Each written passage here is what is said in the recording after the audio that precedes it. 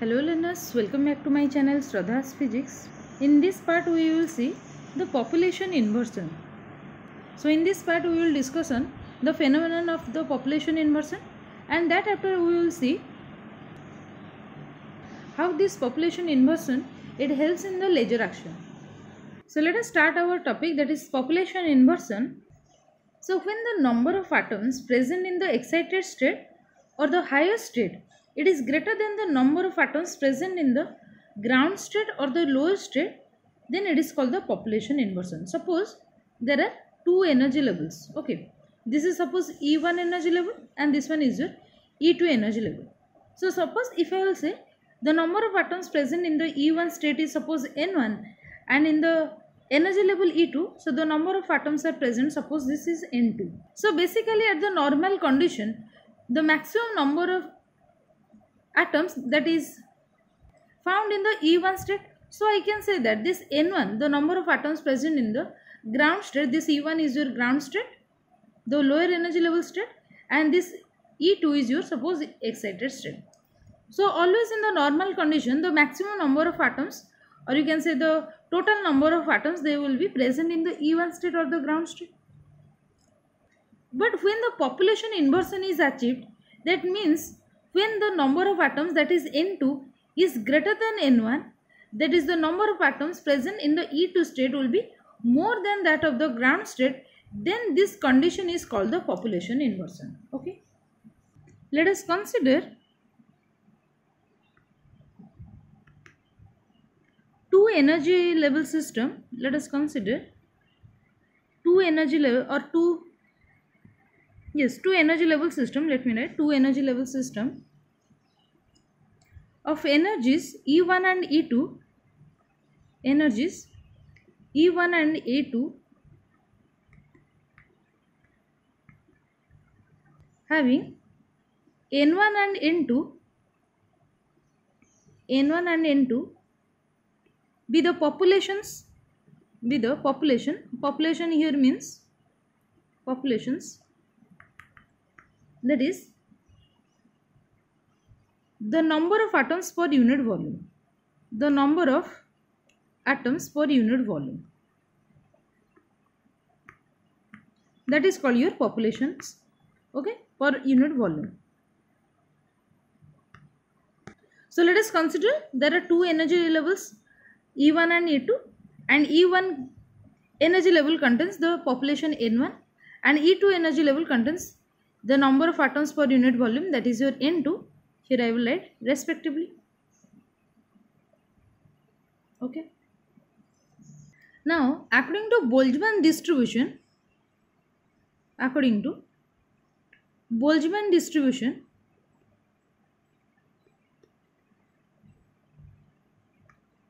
Boltzmann's distribution the population of an energy level the population of an energy level that is E the population of an energy level E at temperature T at some temperature T that is capital T is given by that is according to Boltzmann this is Ni equal to N0 exponential minus EI divided by kt. Here this k represents the Boltzmann constant. Okay.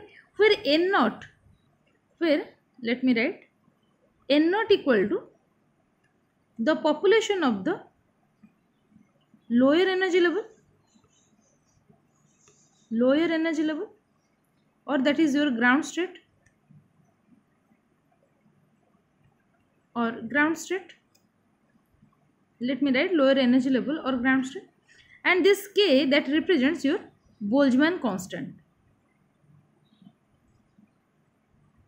Okay.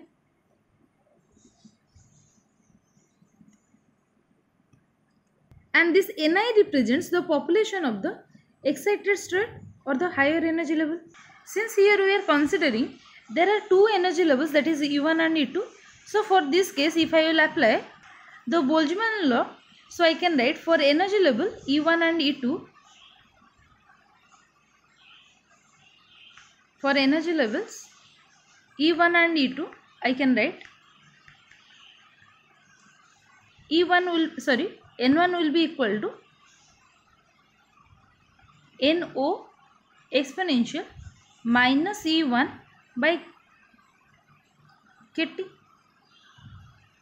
This is your E1 by KT. K is your Boltzmann constant and T is the temperature. And also we can write N2 that is for the energy level E2 I can write this is your NO that is for the ground state exponential minus E2 by KT. This is our relation. So in this figure you can see just a minute. Yes, you can see here at normal condition that is when N1 is greater than that is at normal condition you can see. This is your E1 energy level and this one is your E2 energy level. So at the normal condition the number of atoms per unit volume that is N1 this will be larger as compared to the N2 that is the number of atoms per unit volume present in the energy level E2 this is for the normal condition.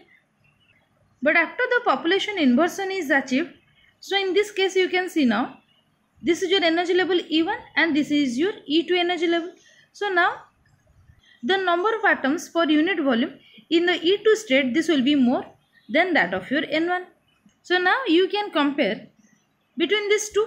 That is when N1 is greater than N2 that is your normal state. But when this N2 will be greater than N1 so this condition is called the population inversion. So let me write this so at ordinary condition conditions ordinary conditions means n1 is greater than n2 okay? N1 is greater than n2 that is the population in the that is population in the ground or the lowest state is always greater than it is always greater than the population population in the excited state in the excited or the higher state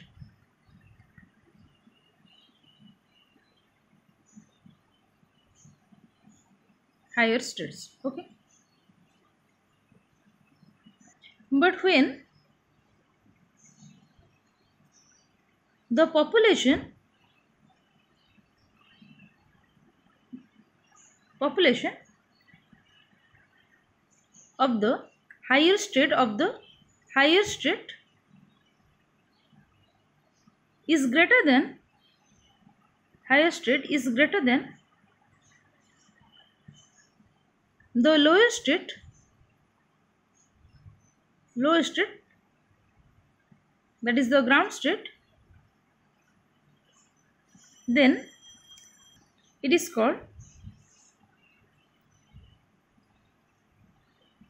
population inversion is achieved. Then it is called population inversion. Simply population inversion okay. So inversion this word means just the reverse action that is in this diagram you can see when the number of atoms per unit volume it is more in the excited state that is E2 than that of the ground state that is N1 then this is called the population inversion. Now we will discuss on the three energy level system. So let us consider a three energy level let us consider a, a three energy level system with energies. With energies.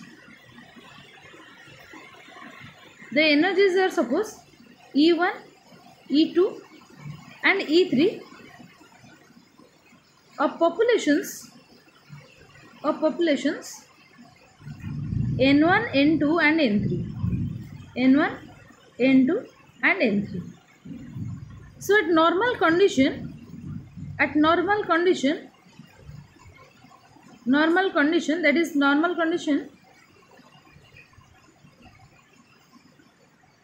the energy level that is E1 is less than E2 and that is it is less than E3 E3 is the excited state. And similarly I can write the number of atoms per unit volume that is N1 will be less than N2 and this will be less than N3 because at the normal condition the maximum number of particles will be available in the E1 state that is the ground state. Since the next level it lies just above the ground state so you can say that the number of particles present here this will be less as compared to this N1 and similarly for the excited state E3 so here the number of particles that is N3 the number of atoms per unit volume that is N3 this will be very very less than or it, it may be negligible as compared to this N1 or this is as compared to this E1 energy level? That is I may write here in the ground state that means at the normal condition here I am saying at the normal condition in the ground state E1 the lifetime the lifetime of atom is more and the lifetime of excited state the lifetime of atom in the excited state excited state that is E3 excited state E3 is 10 power minus 8 second that is the atom will remain therefore 10 power minus 8 second.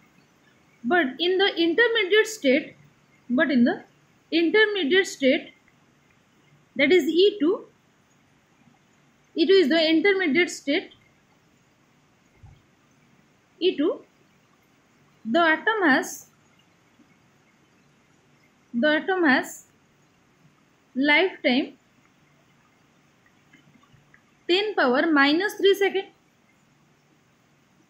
so it means that obviously this intermediate state has more lifetime than that of the excited state. Since 10 power minus 3, it is larger than that of your 10 power minus 8. So I can say that the intermediate state it has the value or it has the lifetime more than that of the excited state. It means that the atom will remain in the metastable state or the intermediate state. This intermediate state is called the metastable state for the maximum time than as compared to the excited state. So let me write it here.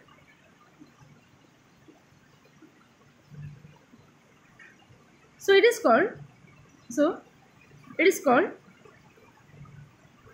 metastable state okay since it is a intermediate state and it is the most stable one that that of your excited state so I, here I can write so it is called metastable state okay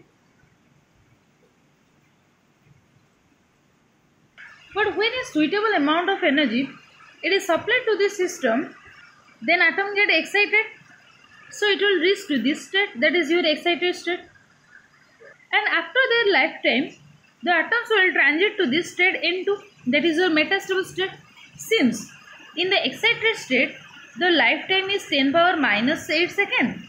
And in the metastable state it is 10 power minus 3 second. The atom will stay here for more time than that of your excited state. So due to this accumulation of the atoms in this state, so here you can say that this n2 will be greater than n1 that is here. If you will see if you will compare between only these two states so this one is your now excited state.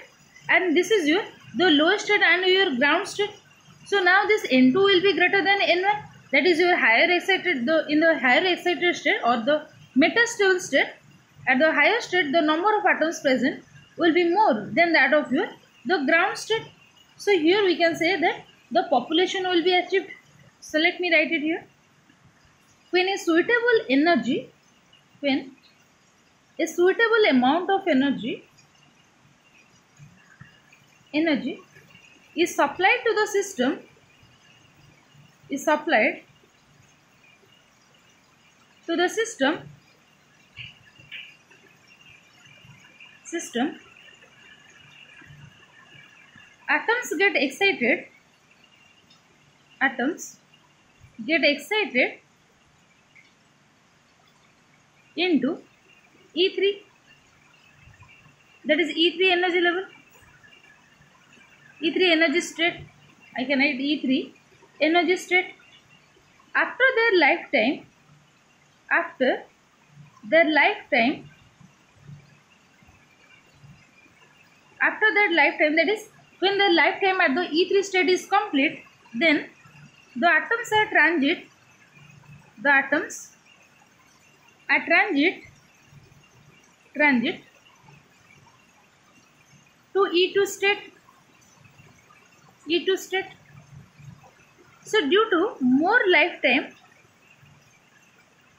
due to more lifetime of an atom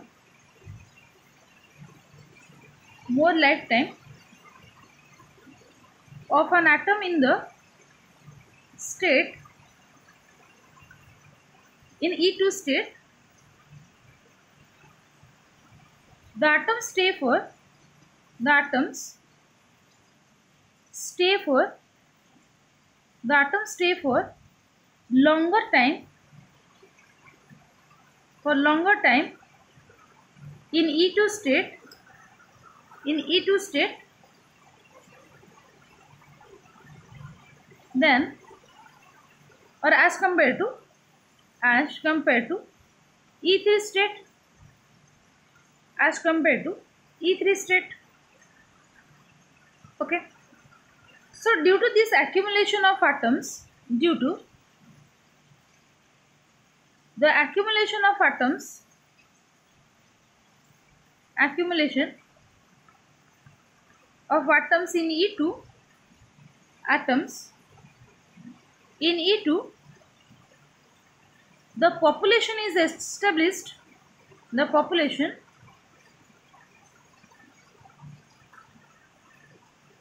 population is established established in between in between E2 and E1 states. E2 and E1 states. Okay. So this is how the population inversion is established in case of the three energy level system. Since in the metastable state, the lifetime of the atom is more than that of your excited state, so the atom will stay for the longer time in the metastable state. And also E1 is the ground state, so E2 will be now the higher state so that the N2 will be greater than N1 and here also we can say that the population will be achieved. So this is all for today. So in the next class we will see how this will help in laser action. Thank you.